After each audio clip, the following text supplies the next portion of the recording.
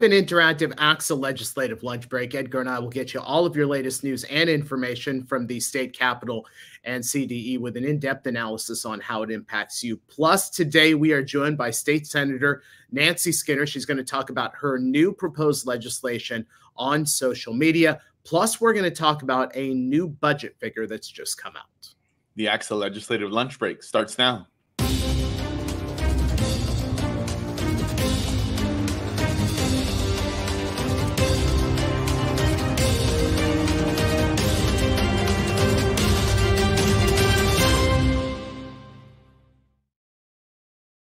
And it's just after one o'clock on a Wednesday. We welcome you to the live and interactive ACSA legislative lunch break, along with Dr. Edgar Zazueta, ACSA's executive director. I'm Naj Ali Khan, ACSA's senior director of marketing and communications. Welcome. We are honored to have you after a week off. Go ahead and jump into the chat and say hello and let us know where you're watching from today. Edgar, how are you? I'm doing well now, uh, Naj. Uh, happy Valentine's Day to you. Happy Valentine's Day to our to our uh, ACSA family out there, sending much love to everybody. Um, I know I didn't wear any pink. I forgot. Yeah. You, you, you, of course, were right on the. You know, the, you forgot. You forgot to give me a reminder there, but I'll, I'll, I'll do better next time. I, am doing good. It's it's always fun to get back into the chair here. I know the last couple weeks we had some opportunities to interact with our members. In case folks, uh, hopefully a lot of you were able to join us last week with our all access uh, leadership assembly. I was excited to hear the numbers that we had more than 400 people yeah. come and join our meeting there over the course of, of, of, the couple hours at one point or another. I think we were at 411 or so. Mm-hmm. so. That was great. I mean, I think just the fact that we usually have a little more over the 100 at any meeting. So we were able to, uh, to kind of put that out there to, to a larger crowd, had some great speakers, got a lot of good feedback. So it's something we'll definitely look forward to trying again here in the future of making some of our uh, gatherings open to all of our members. Yeah, absolutely. It was a great three days. Um, even though it was a lot of sitting, uh, it was still a great three days. And I'm looking at the uh, at at our comment section. Lester Powell first, Neri is uh, is second, Jared Hungerford uh, third on the chat today.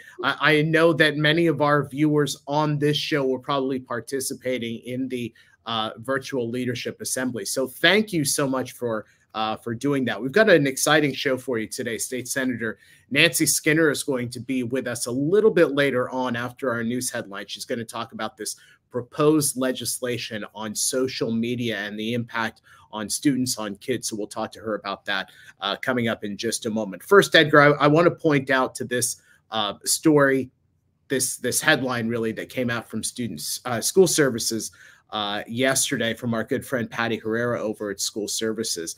Uh, the fiscal year to date revenues through January came in $6.7 billion below the governor's budget estimates. Here's a direct quote from that uh, news release. This decline is expected uh, in, unexpected revenues, quote, portends rough waters for Governor Gavin Newsom's upcoming May revision. We all know that the May revision, uh, the governor's updated budget proposal uses the new figures as far as the general uh, fund is concerned. Um, what the impact is going to be on public education on Proposition 98, we'll, we'll wait and see. But Edgar, your reaction to yeah. seeing that figure?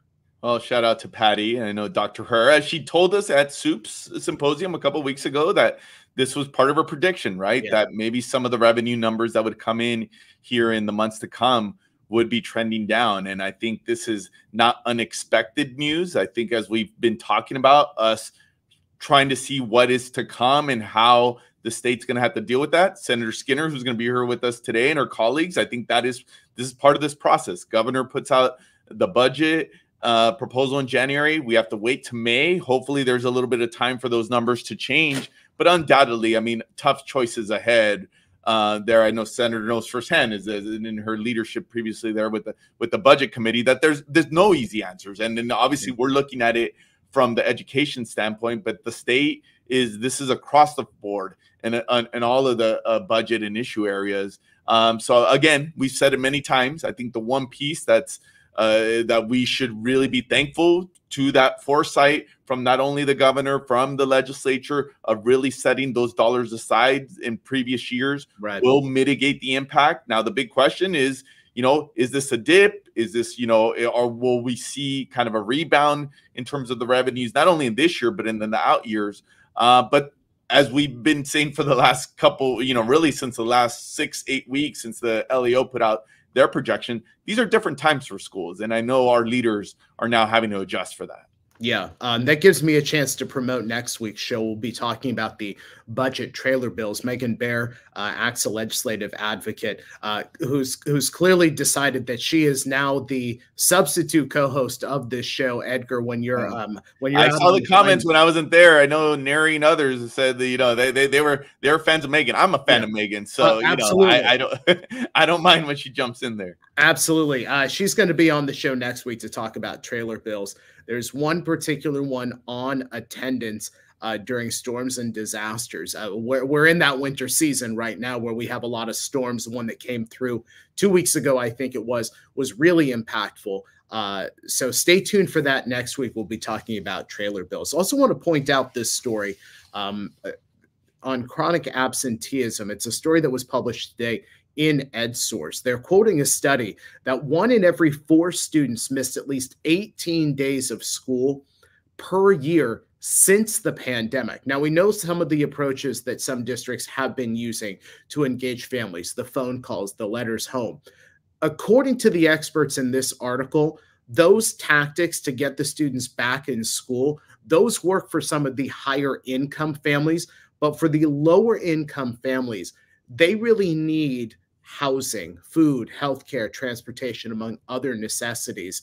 Uh, and they need help from outside groups. And so that might be some of the main challenge in getting mm-hmm. students from those lower income families into school. But Edgar, this was a, a, this was a really surprising statistic. I mean, we we we've talked long about you know post pandemic how whether the students stayed in public school or went out of state or they're on homeschool, we're still missing so many students. We don't really know where they're at. Mm. But one out of every four students missing at least 18 days of school post pandemic was a startling number.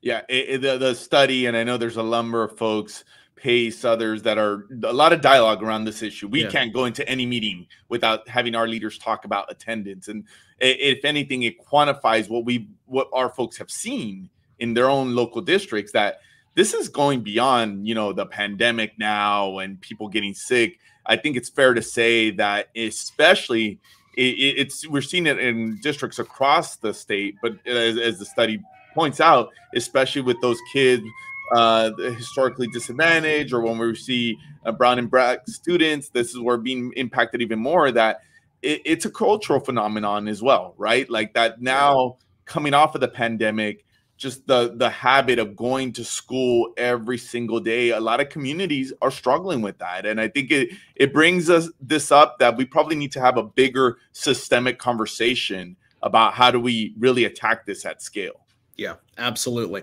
Uh, folks, let's go ahead and bring in our guest right now. We'll switch topics here. Nancy Skinner, state senator from Senate District 6, representing Alameda and Contra Costa counties. Uh, senator Skinner, it is an honor to have you here with us on the live and interactive ACSA legislative lunch break. Your very first visit with us here uh, on the lunch break. I want to just go right into the specifics of Senate Bill 976, which is sponsored by uh, Attorney General Rob Bonta, by yourself, co sponsored by ACSA. This is on social media. Tell us about this bill and where the legislation is right now. Well, thank you, and thank you for inviting me to be part of this uh, lunch, um, your regular lunch gathering. Um, first and foremost, I want to thank ACSA for joining as a co-sponsor of SB 976 because your members know only too well the impact of social media addiction on our youth. And when I say youth, I mean our, you know, younger kids all the way to teens. It's no secret that social media addiction negatively impacts um, academic outcomes and the we, we look at numbers from the Centers for Disease Control that kids are spending six to 14 hours a day, and that depends on the age. Those high numbers are coming up, you know, with some 12 year olds in front of a screen with much of that time looking at social media. And that's time that kids might otherwise be spending interacting with friends, studying, doing homework, um, perhaps, you know, athletics, other things that instead they're fixated on these social media platforms. Um, so it's uh, it's a serious issue, and as we also know, the uh, lots of research shows that social media addiction, what comes with it, is greatly increased levels of self-esteem, anxiety, suicidal ideation, and things like that, mm-hmm. exacerbating our young kids, our youth's mental health crises. Mm-hmm. Senator, uh, just echo Naj's thoughts of uh, thank you for joining us not only today on this important issue, but I think just for your history of partnership with with our organization, and I know you and your team have have been one of those members that we could always count on, regardless of the issue. And some, you know, and you've had to take on some tough ones that you're getting the perspective of what our school leaders have to say about potential legislation. Um, I, I, know as a parent, as we were talking backstage, that you know I, I see this firsthand. I hear it from our from our members, from our folks on the ground on, on a regular basis. So I would say from a practical aspect, so should the bill pass, what what immediate changes do you see and how, how will this play out? Well, I love to give that specifics because some people go, okay, well, you know, yeah, they build it. There's ways our kids are addicted, but how is SB 976 going to help? Right. What it does is it establishes sensible guardrails so that parents can protect their kids. Specifically, it builds into the platforms, it requires them to have as a default things like eliminating notices during school hours and when kids are sleeping, um, eliminating the ability to send addictive feeds. So, returning to the old days of Facebook, for example, where when you original Facebook, you only saw the items that you or your chosen friends liked. So those are some of the guardrails that are built into 976, which gives parents the option. If the parents don't want their kids to have those guardrails, they can, through, you know, with their permission, change the setting. But otherwise, social media has to have as a default those settings that I described. Uh, and if you have questions out there uh, for Senator Skinner, go ahead and put those into our comment section. We'll try and tackle some of those uh, at the end of the show. Uh, Senator, the week SB 976 was introduced, senators on Capitol Hill were holding a hearing with social media company executives about their role in responsible practices. How do you see California and specifically SB 976 leading the way to safer places for our kids? Well, as we know, that is not the first hearing that has been held by either the Senate or the Congress on this issue. And we have the Surgeon General of the US warning about the dangers of social media to our young people. And there you have the picture of all these parents with their kids. You know, one of the things that really struck me at that hearing was a parent who described that their child watching a TikTok choking challenge. And this was a 12 year old. So this 12 year old didn't understand that this choking challenge could be lethal to him. And so he decided to engage in it unbeknownst to the family, and that child died. So these are the kinds of things that we're trying to allow our parents to protect their children from, and which the social media companies to date, even though they know they have all the documentation of these things have refused to themselves mm-hmm. step up mm-hmm. so why we're um, proud to have sb 976 and i hope it's successful and to have the attorney general support and ACSA's support is that as california goes so goes the nation we have a history of leading the way on a wide range of issues and we also have uh, other colleagues who have um, set some precedent in this space. My colleague, Assembly Member Wicks, for example, did a bill on uh, privacy protections. It's in court right now, but we're hopeful that uh, it will succeed and we will have um, privacy protections for our kids. And that was also a first in the nation effort. Senator, as a veteran policymaker, you know, you know, anytime you you put out one of these bills, that's going to get some reaction, and undoubtedly, there's going to be some folks who feel differently. And I know us as being partnered with the bill, I mean, it's something that we've thought about too. About okay, what are going to be the some of the arguments against this? I, I think it's fair to say that some folks may respond by saying, "Wait, couldn't you just achieve the same thing?" by just banning cell phones in mm-hmm. schools. Mm-hmm. I know that's that that our folks talk, we we had some conversation just in the last couple of weeks about that. What what would you say from a policy standpoint to folks that may say, hey, they, you, the state doesn't get, need to get involved in this. There, there's other ways to go about this.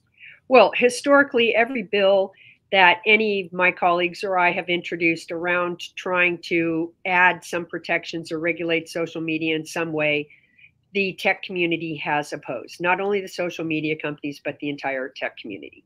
And, you know, we wouldn't have to do these kind of bills if the platforms themselves took responsibility and added these protections. They have not. That's why we feel compelled to act. Um, but, you know, simply banning phones at schools, why I think that's something a number of schools are doing, and I don't oppose that at all. It doesn't solve the problem because, for example, many of our kids have tablets that mm-hmm. they utilize that their school uh, relies on for them to use, whether it's an iPad or something else, for different of their um, studies and, and curriculum.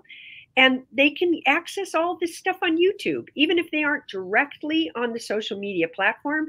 YouTube, in effect, repeats it. So even though YouTube doesn't necessarily have the same algorithms, they, eh, eh, since they're repeating the things that are on TikTok or the others, eh, it's in effect utilizing it's comparable to being mm-hmm. able to in effect these design features that platforms use they understand these features they're sensational their they their purpose is to attract you to have you stay on and of course the, the brain development of our youth is such that they don't have the same kind of discretionary or uh, impulse control mm-hmm. is you know development in their mm-hmm. brains to be able to stop it so these are why simply banning phones alone in mm-hmm. schools aren't going to solve the problem and the other brilliance of sb 976 it puts the control in the parents hands so if the parents think look my kid doesn't have a problem with this I don't mind if they utilize these things, or I don't mind if they get notices at certain times. They can fix the settings. Mm-hmm as Helen points out, some of us adults could probably benefit from, some of the algorithms. You know, you know, because uh, you said that tech companies are very savvy. we see it. We see it with our kids. We see it with adults. I mean, frankly, what you just said, I see it as a parent. Like my son's not on TikTok and some of these platforms. Somehow he finds a way to yeah. to see all the same content. So no, point well taken. Um, uh, folks, if you have questions for uh, for Senator Skinner, go ahead and put those into the comment section. We'll try and tackle those uh, near the end of the broadcast. Senator, I, I want to just kind of piggyback on that question that Edgar asked about, well, can't you just simply, um, you know, ban cell phones in schools and the pushback we're getting from some of those that have that to say there are opponents of this bill who are saying this is simply just an overreach or even that it threatens privacy and protection of users, um, as some social media executives have argued. What, what are your thoughts on that? Well, on the privacy issue, SB 976 has specific uh, language that protects the privacy of minors, which is really essential. I mean, I don't want to bring up some of the very scary things that we know. Uh, you know, we're being advised now, families are being advised don't even post pictures of your babies, of your children on any of these platforms because of the way people can use it.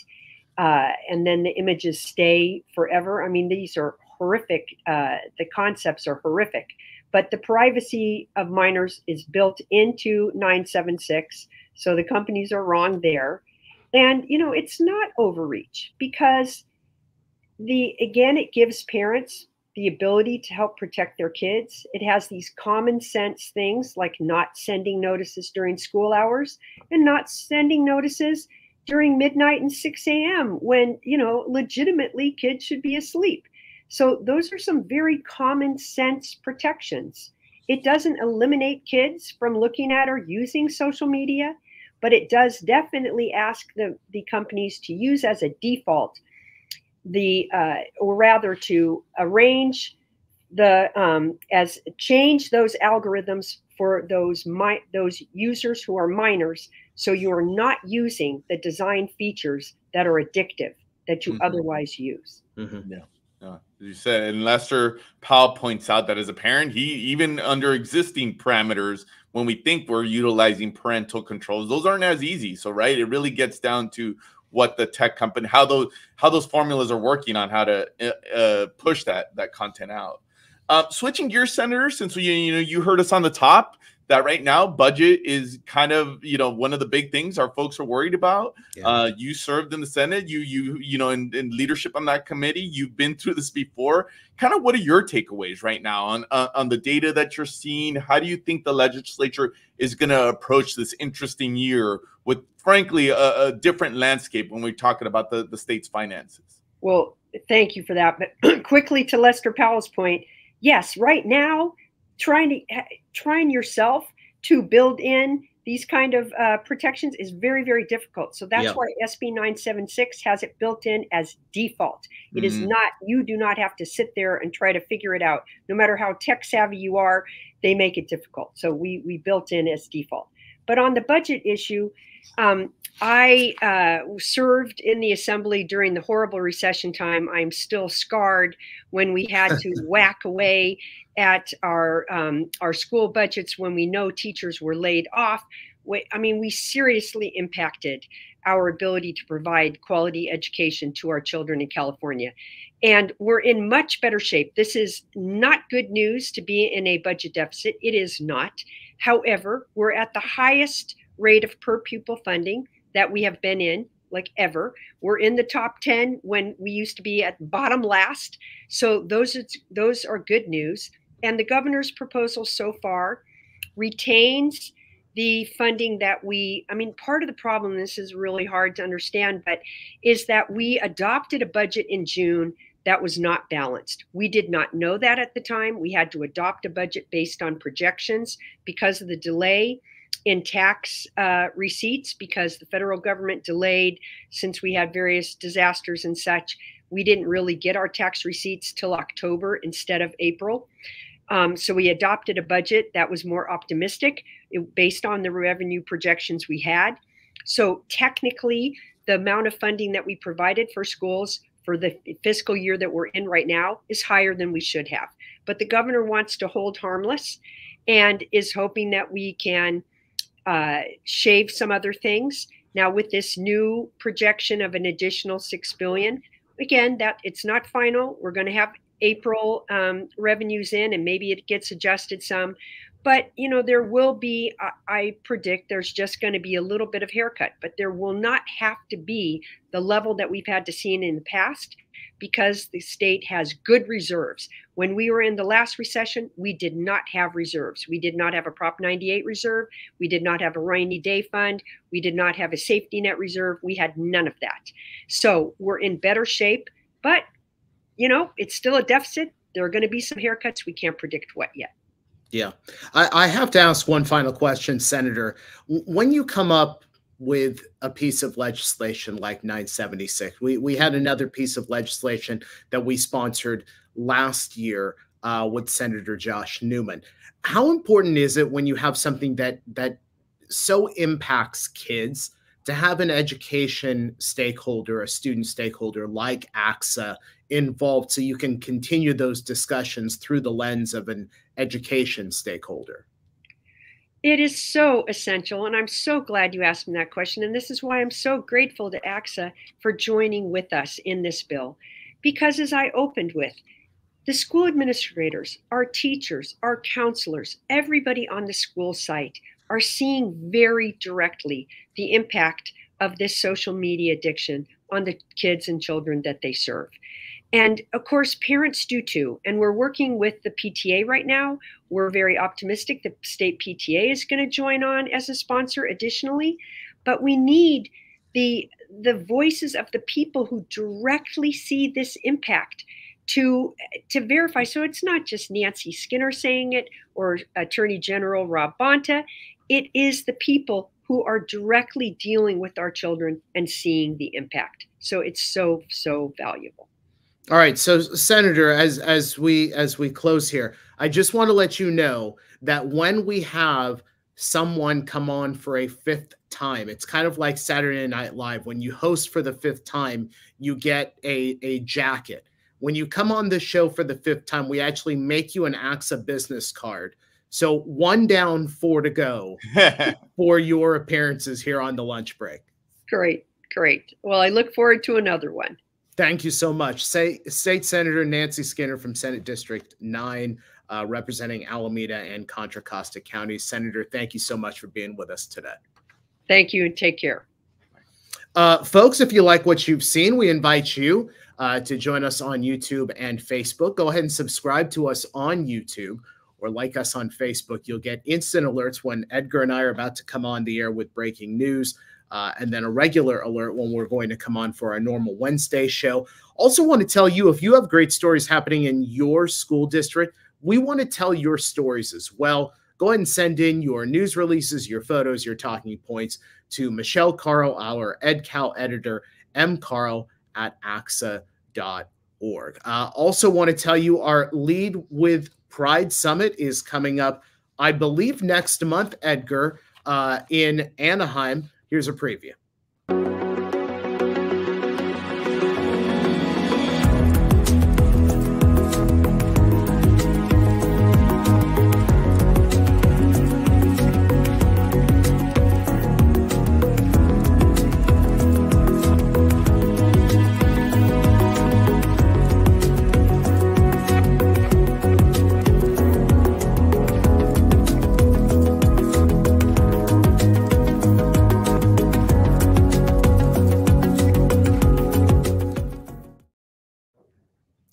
Lester Powell put it in there uh, March 17th through 19th, the ACSA Lead with Pride Summit that's happening in Anaheim. For registration and information, go to acsa.org slash professional hyphen learning. Edgar, it would not be right if we didn't talk about the growth of the ACSA family, the ACSA legislative lunch break family. We had an edition yesterday, right before the news came on. Uh, our producer, Gianna Miller. This is her brand new baby boy, Dominic, born at 5:59 p.m., seven pounds 14 ounces, 20.25 inches. Uh, this is Gianna's second son. Uh, so a new addition to the ACSA family, Edgar. We are uh, we're growing, and we're always happy to yeah. do that. Uh, one of my favorite parts, and Michael was talking about this. Anytime we have an addition to the ACSA family, especially here, Gianna, who does so much great work uh, with your team. Well, on the lunch break, does a number of other tasks for us. Uh, she's got her hands full now. Two babies yep. with uh, in diapers, right? So she she and her husband are gonna be busy, busy parents there. But the two beautiful boys now, and we're wishing uh, Gianna the best, and we'll look forward to enjoy the time with the kids. I'm sure she's going to be watching there amongst in between feeding. Yeah, uh, I, I don't know. Hopefully, she's not watching today. She did have a baby uh, yesterday, but I, am sure we'll see Gianna in the comments at some point there. Look, if she's in the comment section today after after Dominic was born at 5:59 yesterday, we may need to take her phone away. That that would you know to Senator Skinner, we may need to take her phone away. I would I would absolutely agree. Absolutely agree with you, folks. Thank you so much for joining us here on the ACSA Legislative Lunch Break. Remember, we are live and interactive Wednesdays here on ACSA Facebook and ACSA YouTube. Be sure to be here with us uh, next Wednesday, 1 p.m. We'll be talking about the trailer bills. Uh, have a great rest of the day and rest of the week, and we'll see you next time.